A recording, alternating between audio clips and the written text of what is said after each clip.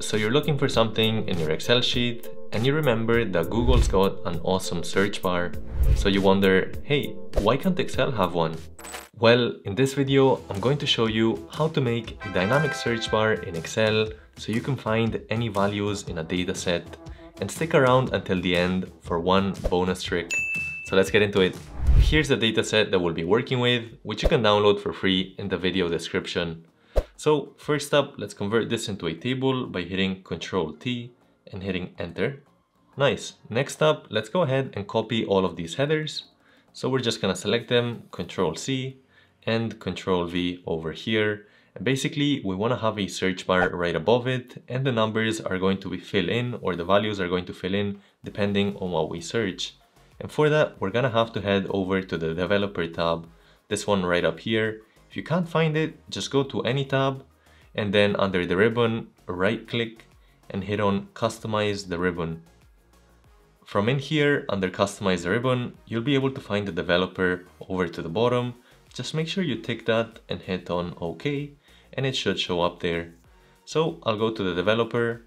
Under insert here, we want to head to ActiveX controls and select this one that's called the text box. Let's just go ahead and drag it Nice, so that's the text box and now we need to link it to something. So we're just gonna right click on it, head over to properties. I know this looks a bit daunting, but basically under linked cell, we wanna put the cell that's right behind it. So it's gonna be H2 and hit enter there and just close out of that.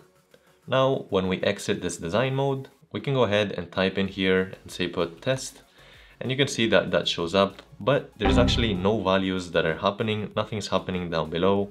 That's because we need to add some kind of a formula to filter for all of these values in the dataset we can do that by going to equals filter hit the tab key there and the array for us is whatever we're interested in so it's all of the values in our dataset so we'll go control shift down control shift right comma the include, this is where we want to do the actual filter. So let's say that we want to filter by the first names. So control shift down, just selecting those first names.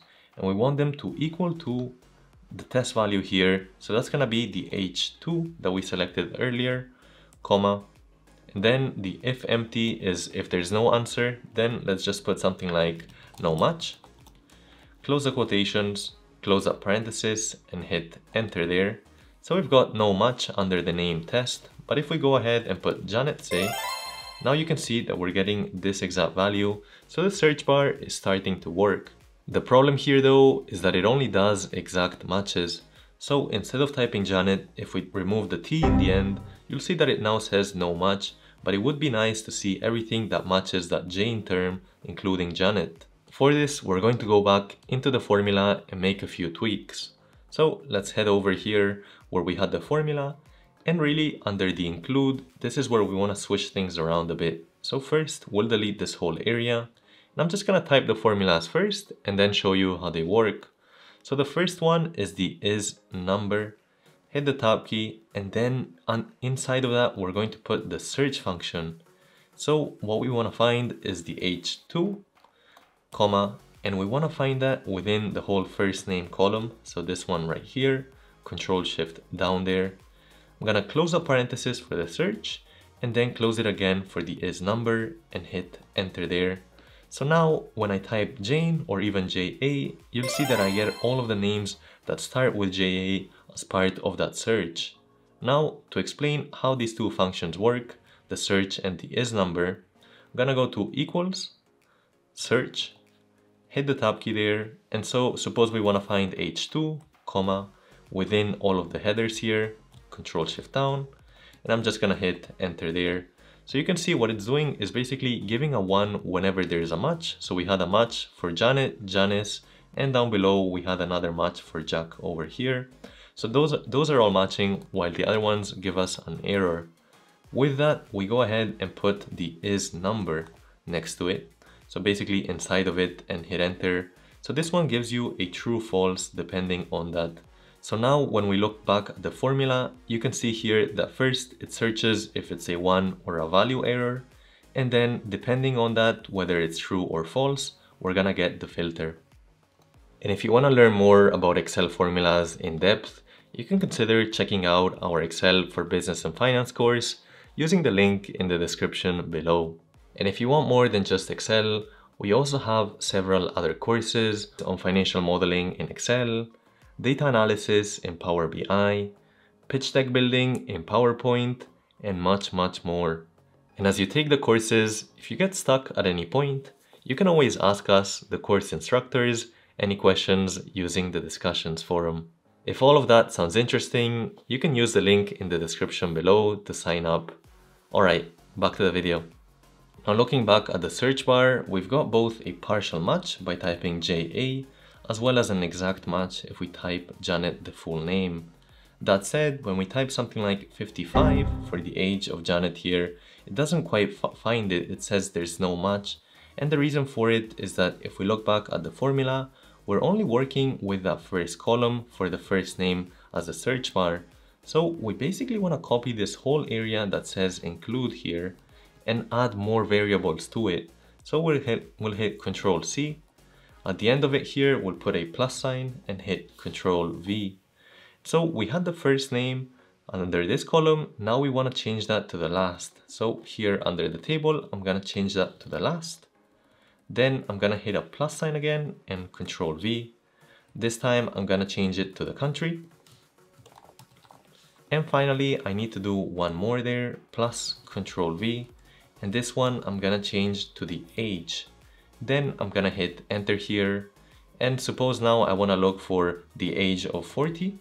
You can see it starts to show no matches for 40, but if I type 45, you can see that there's an exact match there. And same thing goes with the countries. I can put USA and you'll see how it's able to filter for that too. Awesome. One final thing we should work on is actually making it look like a search bar, perhaps a bit like Google's. So let's head over here. And first, what we're gonna do is insert a shape. So under shapes here, I'm going to go for a rounded rectangle like this one over here and just select it like so. I'm just gonna change the fill color here to no fill and let me go ahead and add a border with a dark blue. Great. Now to the side, it would be nice to have the search bar icon, but first I'm going to add a dark blue rectangle for that. So under shapes, I'm just gonna go to this one right here, which only has the top corners rounded.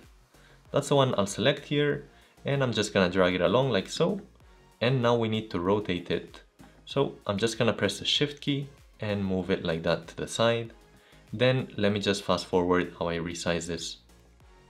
Great, I'll change the color of this one to a dark, dark blue fill and go with no outline. So let's see what that looks like. Great. Now we need to add the icon. So we'll go back to insert and this time we'll insert an icon. That's gonna be the search bar. So we'll put search in here and we'll select this one over here and hit insert. Then let's change this color to a white. So graphic fill, go for white. And let me fast forward how I resize this. Nice. One final feature is to make this search box a bit larger. So we can go ahead under developer, click on design mode, and then we can select it and just make it larger. Let me fast forward that. Nice, now we have a very nice looking search bar where we can type anything and it works just fine. You could also do one more thing to make the search values stand out a bit, which is add a conditional formatting. So we can select all of them with Control Shift down, Control Shift right, and then head over to Home, Conditional Formatting, and then highlight cell rules that are where the text that contains here so it contains the H2. So let's go ahead and select it. It's this one right here, H2. Make sure it's locked with those dollar signs. Let's say we put that in green. So we want it to stand out and hit OK. So now when I type say MU, you'll see that it starts to show wherever that M is located. That said, one of the downsides is that when there's nothing on it, you'll see that everything gets highlighted. And now for the final bonus feature, Suppose that we want to have a drop-down list with all of the names here. So you might think of doing a data validation by heading over to data, then clicking this button here, which is data validation for you. And then let's go ahead and put a list. And that list is going to be of all of the names. So I'm just gonna go Control Shift down to select all of them and hit on OK. Now the problem here is that these lists can get quite long, so it can be difficult to find the right name. Now Excel does have a search feature inside of it, so I could go ahead and type JA here and you'll see how I'm gonna get all of the suggestions in there as well. I can just use the down arrow and hit enter to fill one.